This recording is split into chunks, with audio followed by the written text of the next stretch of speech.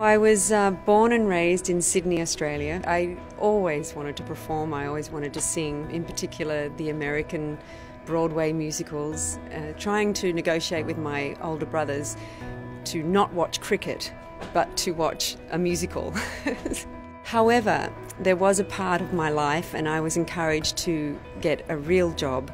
And I worked for a year in Sydney as a social welfare worker. And then Phantom was coming to town, and landed the role of Christine Daae, and it all took off from there.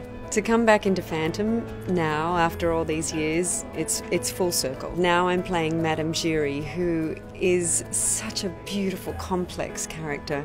Thankfully, uh, my preparation now is different to Christine. I no longer have to wear ballet shoes. I wear some fabulous boots.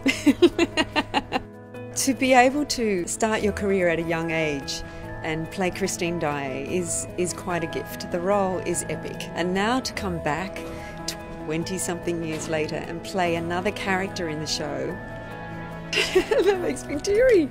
I mean, I'm speechless.